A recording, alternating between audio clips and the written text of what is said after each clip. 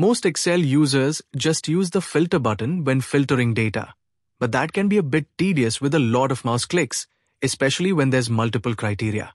So let me show you a better alternative called the dsum function with five real-world examples. Let's get into it. In our first and simplest scenario, with one criteria, you can see over here we have the Excel file with a table. So let's suppose that we want to filter by iPhone machines, and we want the sum of the quantity column when that's matching. For this to use the filter tool, we can go over to sort and filter and click on the filter button. You'll notice this creates this drop-down. We want to go under product. And more specifically, we're just going to select the iPhone 15, press OK. Once filtered, just select this whole area and you'll notice down that it has the sum of 2892. That said, if we were to use the sum function, it doesn't give us the same answer. That's because it's also accounting for all of the different rows that have been hidden here. So because we've done this filter, we can only see the iPhone 15. But this sum function actually takes in all of the different rows, which isn't quite right. That's where the dsum can come handy. So here we'll do equals the dsum is the function we'll use, and the database is simply all of our data. That's simple enough. Comma D field is what we're looking to sum.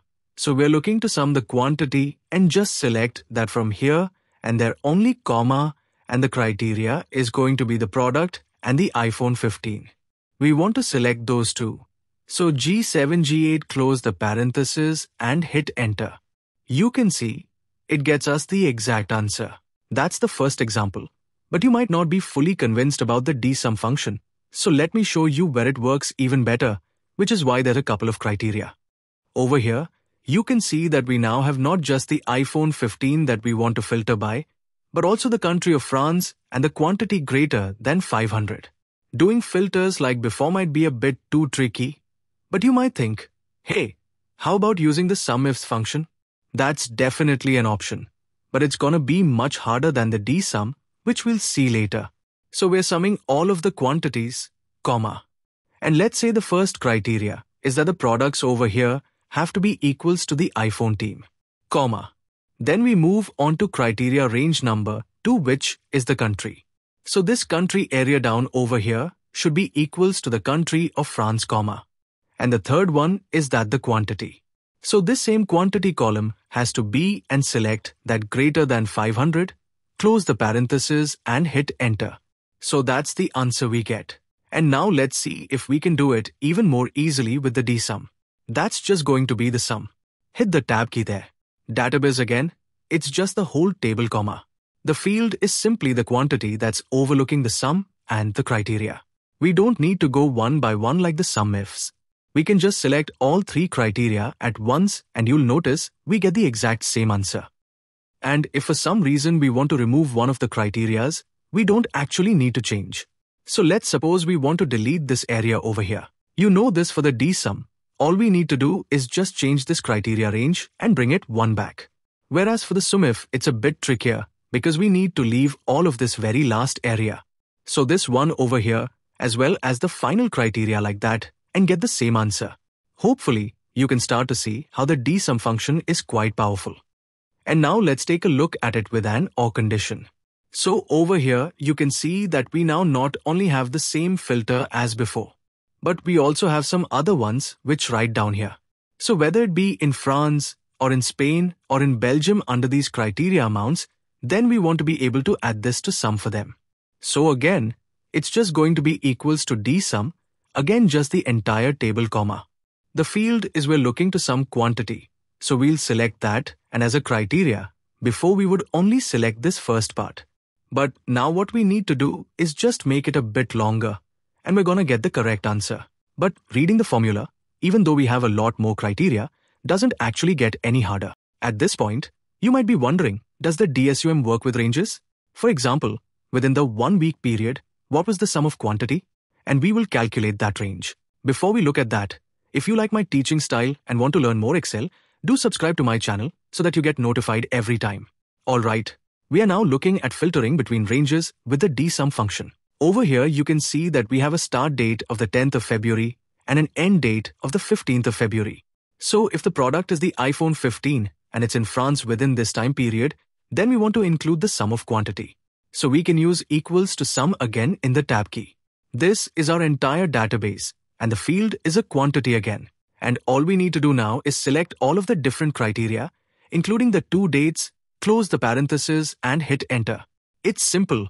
In fact, if we take a look over here, it's really only matching the specific one, which is the 855. That said, let's suppose that we add a new row. I'm just going to copy paste it down over here. Let me change the number to 1500 and see what happens.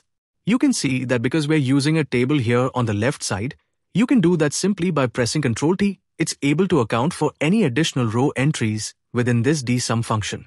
Before we take a look at some of the important limitations of the dsum function, let's look at the sister functions, which are other database functions like the average or the count. Over here, you can see we have a similar table setup, and for the d average, simply the average. You can guess roughly what it's going to do within a certain set of filtered data, and it's going to find the average. So this is our data, comma. The field is going to be the quantity that we're still looking at but it's still the sum. We want the average. And finally, the criteria is all of this range over here. You can see that seems to be working correctly, and the D count works in a very similar way. So we're just going to select the same area, comma. The field is a quantity, and we want all of these past the criteria. So we have a count of 2. What's awesome about these database functions is that they're all structured very similarly. So if you understand one, you're going to be able to understand the whole range. But it is important to mention some of the limitations. So let's take a look over here in Excel. And then one that I've noticed here in this table is that the headers choose product and country for the filter headers. Much the headers that we've got over here. Instead of product, let's call this the phone. You know, as soon as I do that, the dsum is no longer working. The same thing goes over with the country. If I call it Europe and France in it, it no longer works because it can't find that relevant match.